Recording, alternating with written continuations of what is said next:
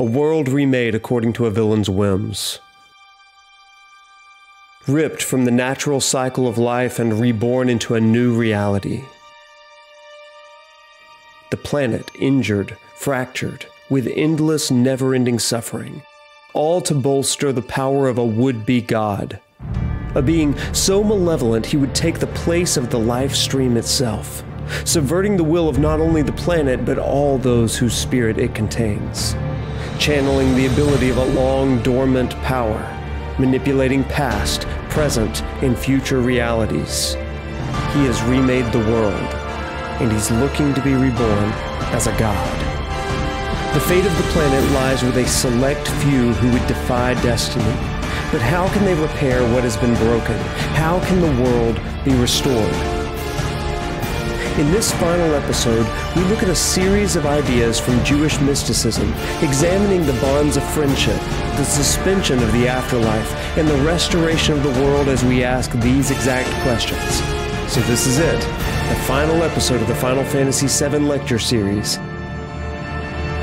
Let's mosey.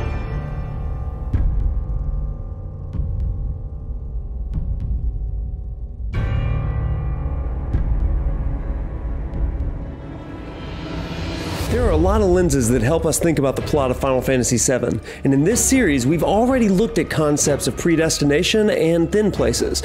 But in this episode, we look at perhaps the most compelling lens yet. Even since the original game, people have followed the etymology of Sephiroth's name to digest this game's story. So, to better understand what could happen in the games in the future, let's look at where this iconic villain's name comes from a form of Jewish mysticism called Kabbalah. Kabbalah is a deeply complex form of Jewish mysticism that helps explain everything from creation to a person's consciousness to humanity's task as the image bearers of God. You're the spitting image of her now. Kabbalah is first and foremost a way of understanding God and creation. Any type of creation, but especially the Genesis accounts in Hebrew scripture. While the Genesis accounts seem pretty straightforward, Kabbalah seeks to explain the hidden divine nature of that creation. Kabbalists say that the biblical Genesis creation story comes from three specific events the Tzimtzum, or self limiting of God, the Shavira, or breaking of the vessels, and the Tikkun, or harmonious correction and mending of the flaw which came into the world through the breaking. Let's go through each briefly. According to Kabbalists, in the beginning there was God, or Ein Sof, which in Hebrew means infinite mystery or the source of all things. That is, he's the ultimate one, unseen and unknowable. The creation of the world demanded that this infinitely powerful God invoked self limitations to both exist in the temporal plane and to allow for free will. To put it simply, our world then is a sacred space, which to be as human as divinely possible and as divine as humanly possible. It's a space to err, to fall, to believe, to doubt, to cry, to laugh. Our space, created by the simple motion of stepping back, the humble act of honoring the separate reality of another. After creating space, God begins the process of breaking himself into limited parts. Here's how Professor Howard Schwartz says it. When God decided to bring this world into being to make room for creation, He first drew in His breath, contracting Himself. And from that contraction, darkness was created. And when God said, Let there be light, the light that came into being filled the darkness, and ten holy vessels came forth, each filled with primordial light. Now think of this like breaking God down into components or elements, like a water molecule being broken down into hydrogen and oxygen atoms. Anyway, God sent forth these ten vessels, like a fleet of ships, each carrying its cargo of light. Had they all arrived intact, the world would have been perfect, but the vessels were too fragile to contain such a powerful divine light. And so they broke. These 10 vessels, by the way, are called Sephirot and correspond with 10 divine attributes or emanations that God reveals in our world. But we'll get back to that in a moment. Well, the vessels broke, they split asunder, and all the holy sparks were scattered like sand or seeds or like stars. These sparks fell everywhere. Now, in the wake of this event, most of the light that had been contained in the vessels returned to their divine source, while the remainder fell below into the empty space and attached themselves to the now broken shards of vessels. From these shards of broken vessels, the powers of what's called kelipot, or husks or shards, were produced. Basically, this is the creation of evil. Now, in addition to constituting the source of evil, the broken shards are also the basis for the material world. The sparks of light that failed to return to their source above remained trapped, as it were, among these husks. These husks, in turn, are constantly nourished and they're strengthened by the holy sparks attached to them. Indeed, if it weren't for these sparks, well, these husks, this evil, would lose their life and power altogether. So, in this way, evil survives only because it's a parasite on the disconnected spark of divinity. Make sense? This disconnection of the light is the mission of creation to rejoin the light to itself in time and in eternity. I love this phrase. That is why we were created to gather the sparks, no matter where they are hidden. God created the world so that the descendants of Jacob could raise up the holy sparks, they say. And when enough holy sparks have been gathered, the broken vessels will be restored. This is the Tikkun Olam. The repair of the world, awaited so long, will finally be complete. Therefore, it should be the aim of every person to raise these sparks from wherever they are imprisoned and to elevate them to holiness by the power of their soul. This final idea of restoring the world is compelling even to other fields of study. So much so that Carl Jung once said, The remarkable idea is developed that man is destined to become God's helper in an attempt to restore the vessels which were broken when God thought to create a world. Here, the thought emerges for the first time that man must help God to repair the damage wrought by creation. For the first time, man's cosmic responsibility is acknowledged. Now, I share all this because I want you to see what's happening in the Lifestream and during Final Fantasy VII Remake in light of all this. The Whispers, as we discussed in the first lecture, are agents of the Lifestream, but they seem to be acting erratically, even to Aerith, as though their very existence is in danger. Could it be that they are being infected by a parasite, like the kelipot that we just talked about? Then at the end, the life stream, similar to the mysterious source, the Ein Sof, is fragmented, fractured, and torn to some degree by the elimination and defeat of the Whispers. And what immediately happens? Shards of light fall onto a seemingly infant creation that is different. Light shards explode and they fall on Zack. They reawaken Biggs. Now, is this meant to be akin to the creation or recreation of a new world? An illusory world where things aren't exactly what they seem? But a bigger question may be why Zack and Biggs? And even more than that, why do Cloud and specific others in the story seem to have such importance to Sephiroth that they can see the whispers and defy fate to some degree? Ultimately, through the lens of Kabbalah, because these are all vessels with a shred of divine light that can alter the course of destiny, they are vessels of the life stream, bearing specific components of the divine, serving as a perfect potential vessel for Sephiroth to absorb and potentially command. Many of these Sephiroth attributes correspond to key character motivations in the game, and yet, Sephiroth seems to want to subvert or change those motivations. Like I mentioned earlier, repairing the world demands a rebirth and rejoining of all 10 of these Sephirotic attributes, which is why Cloud's seemingly fractured psyche is so important to Sephiroth.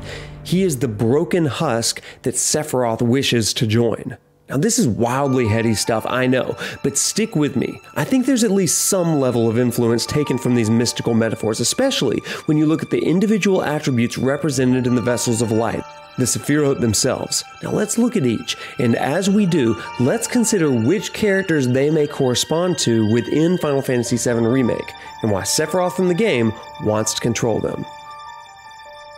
To simplify this next part, Kabbalah offers a framing guide to understand the 10 attributes of Ein Sof, or God, called the Tree of Life. It's a process of creation at the top to the manifestation of that creation at the bottom. Let's go through each one.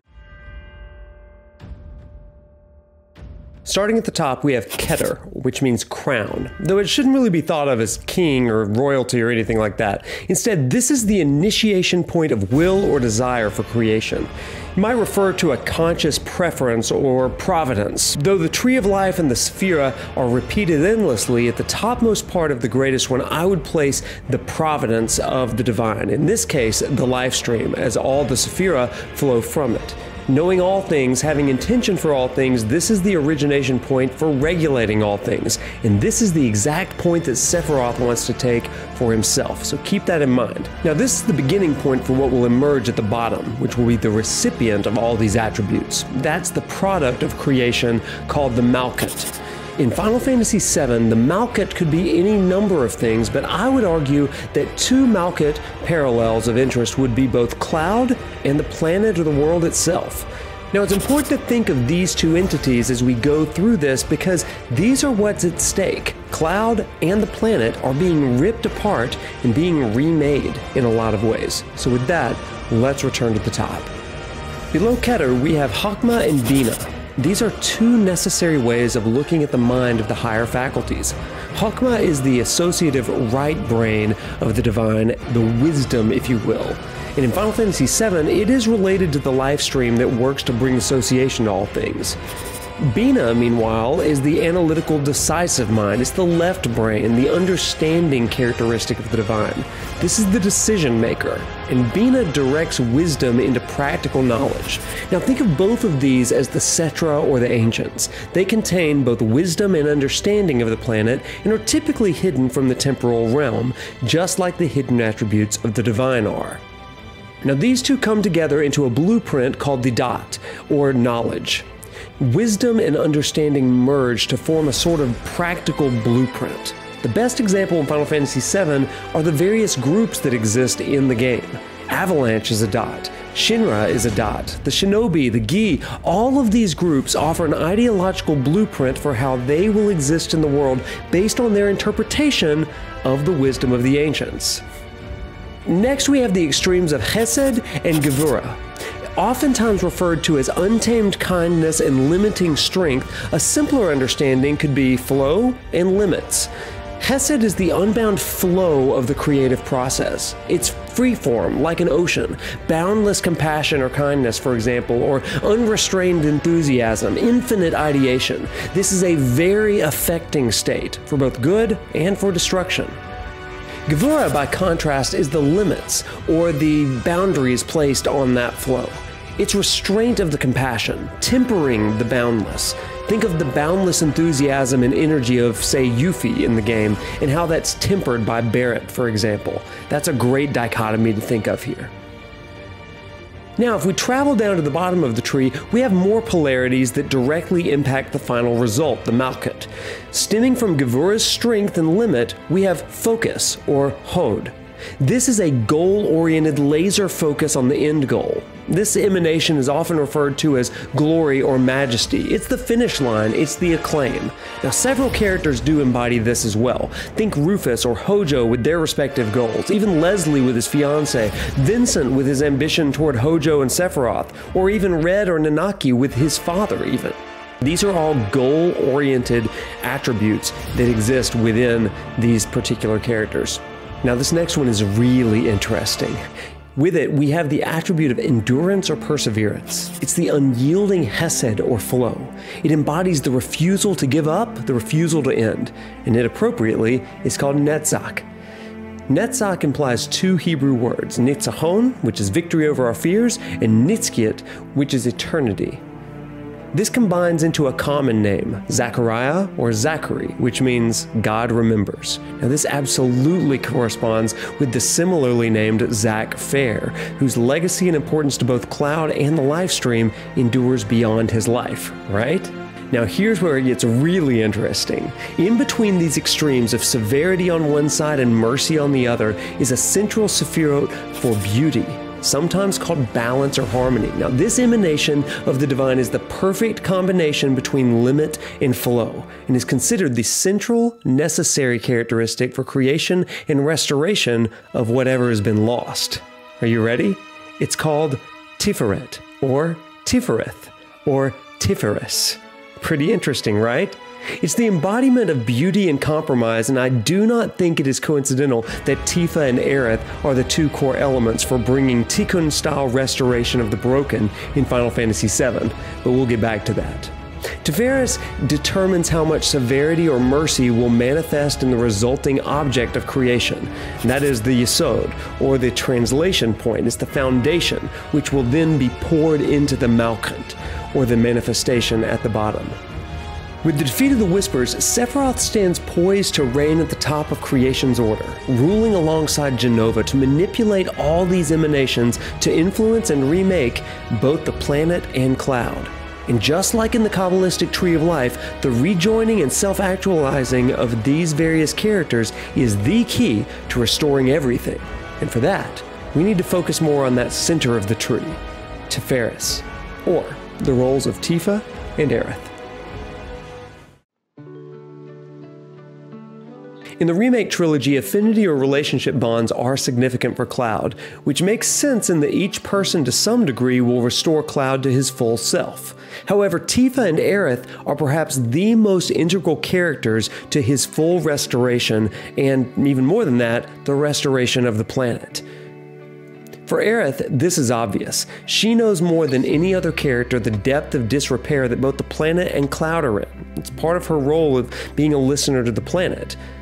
Yet, if we follow the original game, she must choose between saving Cloud and the planet. She does what she can for Cloud, but must eventually go to do what only she can do.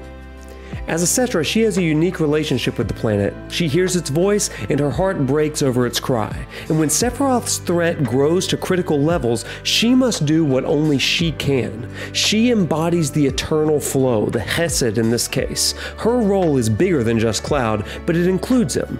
Like she says, This isn't about me, though. It's about saving the world. And you. Meanwhile, I think Aerith is counting on Tifa to save Cloud. Throughout the original game, Tifa's role is much more focused on Cloud's well being than the fate of the world, embodying the strength and focus on him that Aerith simply isn't able to have. Even as children, Tifa had concern for Cloud, though Cloud promised to be there when she was in need. When we're older, and you're a famous soldier, if I'm ever trapped or in trouble, promise you'll come and save me. Come on, promise me. Fine. I promise. It's a promise she's determined to keep as well, and when Cloud is at his breaking point in the original game, it's Tifa who helps him reclaim himself. Just as Tiferes holds the Kabbalah tree of life in beauty and balance, so do its corresponding characters hold the world of Final Fantasy VII in harmony. Aerith and Tifa both play critical roles in restoring that which was broken, which is why Sephiroth seeks to disrupt their relationships with Cloud. They say she's a monster, that she can peer inside you, into the very depths of your soul, that she can become those you hate, those you fear, Cloud and Tifa have a shared history from childhood. Their bond is near unbreakable. Yet Sephiroth, through Jenova's power, reinvents and distorts their bond by remaking the past through illusory worlds and hallucinations, making them question what is fact or fiction. Even from the original game, his recounting of what happens in Nibelheim makes Tifa suspicious of him. She doesn't fully trust him, even though she longs to. As Cloud's grip on reality weakens, he will become more and more vulnerable to Sephiroth's manipulation. It'll cause him to act erratically, even turning on those he can trust. Those we hate, those we love, those we fear. Jenova would become anyone to fool her prey. Don't do this! But I'm no fool. Tifa's guard will be up.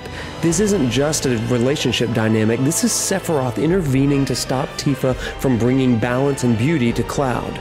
Her mission will be to employ strength through severity, Gevura, Hod, and understanding to restore Cloud.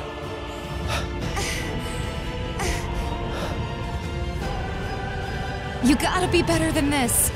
If you're gonna play the hero. She's constantly there for him. By turning Cloud and Tifa on one another, however, Sephiroth may split apart the one thing that saves Cloud. However, for the fate of the planet, Sephiroth must also turn his sword against another. Similar to Tifa, Aerith has helped bring levity and a spirited energy to Cloud, but her goal is much broader. As things grow more dire, Aerith must take on the full mantle of the role of Cetra. Therefore, she prays for the planet's help, igniting the power of the white materia she holds. However, when she's struck down by Sephiroth, she will return to the planet Stasis, like I mentioned last episode. There, I believe she'll seek to bring mercy and calm to the life stream, journeying alongside those who have already been lost into the promised land of the Cetra, discerning their secrets as she inevitably takes on Jenova, the parasite that seeks to vanquish light in these husks of the world, the cause of the near extinction of her ancestors within the static life stream, restoring the proper cycle and flow to the planet which has always been the face off that I personally want to see. Aerith, along with the power of the Cetra, finally bringing Jenova to justice. How cool is that? Even so, there's danger within that static life stream.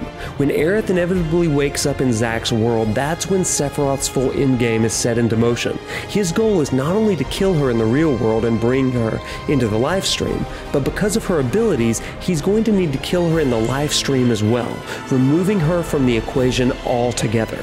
Listen to this phrase from Marlene. Promise not to tell?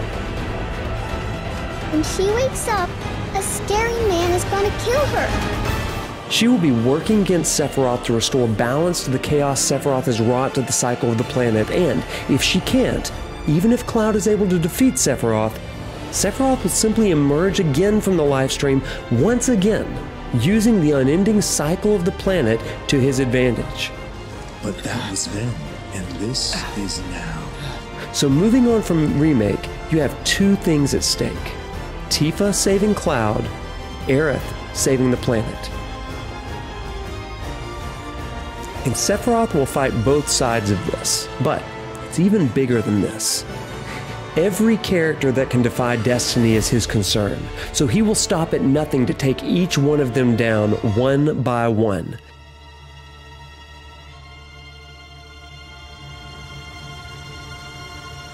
Because each contributes to some attribute of Cloud's rehabilitation, this is how he will break Cloud, inflicting pain, distorting memory, calling everything about Cloud's identity into question because he cannot win against a fully formed, self actualized Cloud. Likewise, he must be vanquished within the life stream itself, since he will simply be reborn again and again as he evades absorption into its flow. Whether by his own insistence or Jenova's power, he's done it before and he will do it again and again.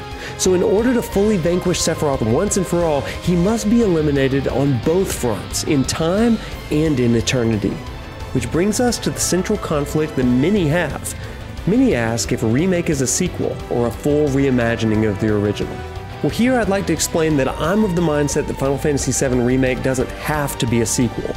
Instead, like every Final Fantasy before it, it's a cycle. In the first video I ever made, I said that the core element that makes a Final Fantasy story uniquely Final Fantasy is breaking the cycle, be it a cycle of oppression or kingship or something else. But in Final Fantasy VII, it's always been about breaking and restoring the natural cycle of the planet, and in Remake, this is exactly what's happening again. 7 tells the story of how a party who defies destiny confronts a villain who manipulates the reincarnational cycle of the planet for his own ends. A cycle that was alluded to in the original but is fully explained in Remake, a cycle that would neither nullify nor necessitate inclusion of the original game, but nonetheless, a cycle that has continued repeatedly, a cycle of existence that Sephiroth has manipulated before and will simply keep manipulating unless Aerith and Zack's party and Cloud and Tifa's party break the cycle once and for all.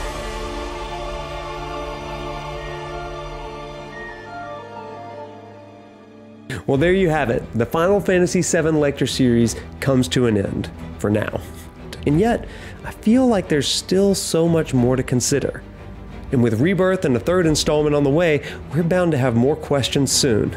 Those, however, will be questions and conversations for the future. But for now, we draw this lecture series to a close. And on a personal note, let me simply say this it has been an honor to share these lenses with you. Thank you so much for watching, for participating in both these videos and the long form lecture plays. I don't take for granted that you have spent time watching this content, so thank you. And I look forward to our next journey together. Remember to like and subscribe, and until next time, walk tall, my friends.